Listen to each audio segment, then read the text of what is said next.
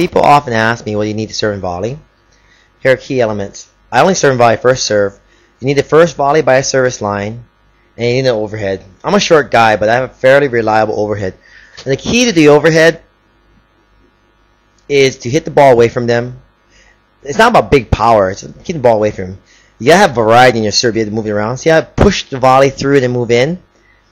Got him in one corner. Overhead, other corner. It's not a big overhead, but just well placed. Other keys are you have to serve wide. Any chance that to the weapon. Staying back in the second serve and getting to rallies with them. Unfortunately, my baseline game lacks because I'm much better at serving and volleying. I don't like to serve and volley in first and second serve because they, they get used to it, and it becomes really easy for them to do. Finally, you got to persevere and play percentages and keep coming, keep attacking, keep getting the net as much as possible.